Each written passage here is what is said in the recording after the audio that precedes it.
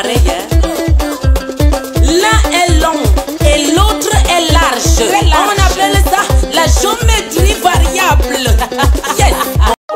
Dans un contexte socio-culturel marqué par l'absence des salles de spectacle, du calendrier culturel et des statuts de l'artiste, l'initiative personnelle ou l'autoproduction est la mamelle nourricière des artistes camerounais. En effet, pour éviter de sombrer dans le vice, l'ennui et surtout le besoin, les artistes camerounais pensent à créer. Et vu qu'aucune création n'est jamais faite à partir de rien, il y a toujours un substrat référentiel. Chaque création a toujours une portée, qu'elle soit amoindrie ou large.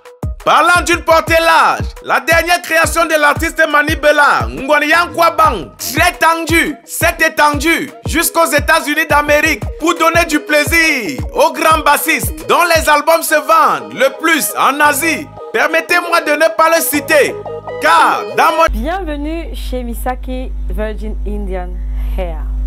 Voilà, la boutique est située à Damas, dépôt des bois, en face à Freeland. Là, ce sont les closures d'origine, différentes de celles tissées au Cameroun. Pour une closure d'origine de cette taille, nous la faisons à 30 000 francs. Mon esprit à l'instant, c'est bel et bien Dagobert.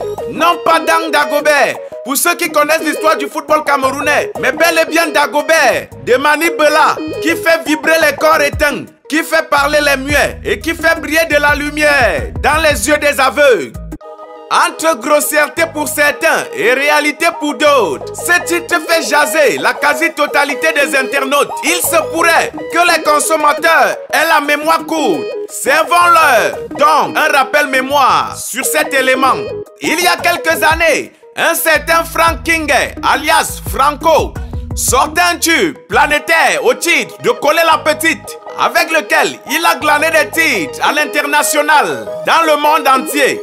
Tous ceux qui le combattaient se sont retrouvés dans des positions où il fallait effectivement coller la petite. Alors, dans l'esprit, il venait cette phrase coutumière au Cameroun qui est la suivante. Si le ministre, qui est plus grand que moi, arrive à coller la petite, alors, qui suis-je pour ne pas le faire? Encore qu'après ces prix glanés ça et là, on arrivait à dire que c'est le Cameroun qui gagne. Avec cette même musique, si Manibela arrive à être nominé dans des cérémonies internationales de récompense et qu'elle glane à son tour des lauriers, ça ne sera pas Nkwabang qui sera l'honneur, mais bel et bien le continent tout entier. Comment comprendre que les uns qui chantaient et camofoc les pédales, le secret de l'homme, long courrier, sucé sucette, soient considérés aujourd'hui comme des icônes de la musique camerounaise. Et qu'un contemporain comme Manibela, qui n'est pas une dame laide, soit autant combattu ses fans et toute autre personne qui a un regard neutre sur l'évolution de la musique camerounaise tiennent à lui passer ce message. Je cite, Palapala Woman chante après Dagobert, prend directement le minou. Dans 20 ans, quand ils chanteront Satan et Lucifer, directement tu seras considéré comme une icône de la musique camerounaise. Après ce message fort, qui suis-je pour dire autre chose? Nous sommes ensemble pour la suite.